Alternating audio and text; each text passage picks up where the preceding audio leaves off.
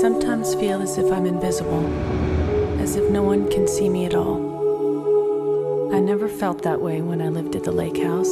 It's the one place I felt most like my true self.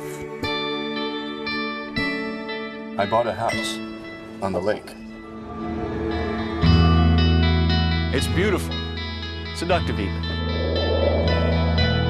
Dear new tenant, welcome to your new home. I'm sure you'll love living here as much as I did. What do you mean you lived here? Since no one has lived in this house for years.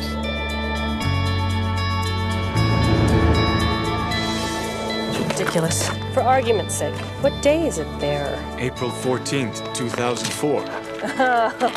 No, it's April 14th, 2006. It's the same day, two years apart. This is insane. Can this be happening? From Warner Brothers Pictures This house is about connection. comes a love Even though this is clearly impossible, it's amazing. without limits How's your sunset? It's perfect. I only wish you were here to share it with me. and a place that reaches across time. Here's a little something for you. There was a freak blizzard in the spring of 2004, so watch out for that April snow. Lake house and its trees.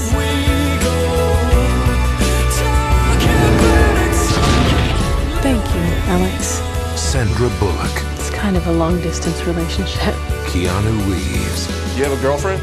Oh, you're gonna think I'm crazy. She was more real to me than anything I've ever known. Pick a place, I'll be there, I promise. How? It's not meant to be. No, don't say that. Something must have happened. One man I can never meet. Him, I would like to give my whole heart to.